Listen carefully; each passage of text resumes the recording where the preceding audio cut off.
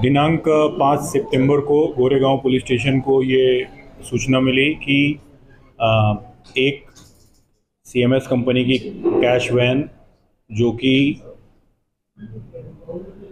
ATM machine में cash भरा जाता है, वो कैश लेके जा रही थी और एक जगह पर जब उनका स्टाफ एटीएम में कैश भरने के लिए नीचे उतरा, उस समय कैश वैन का driver Udayvan Singh, cash van लेकर फरार हो गया।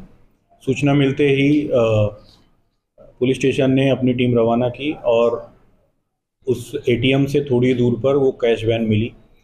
परंतु उस कैश वैन को तोड़कर अंदर का दरवाज़ा, उसमें से दो करोड़ अस्सी लाख पचास हज़ार रुपया गायब था। पुलिस तुरंत सक्रिय हुई, हमने आठ टीमों का गठन किया और अलग अलग जगह पर आरोपियों को शोध के लिए भेजा।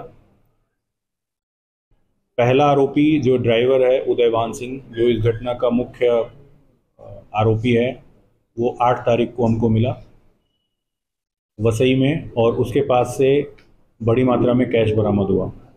उसके बाद उसकी सूचना पर दूसरा आरोपी, आकाश यादव, वो मिला। उसके पास से भी बड़ी मात्रा पर में कैश मिला। हमारी टीम इनकी निशानदेही पर अलग अलग राज्यों में गई और तीसरा आरोपी ऋषिकेश सिंह।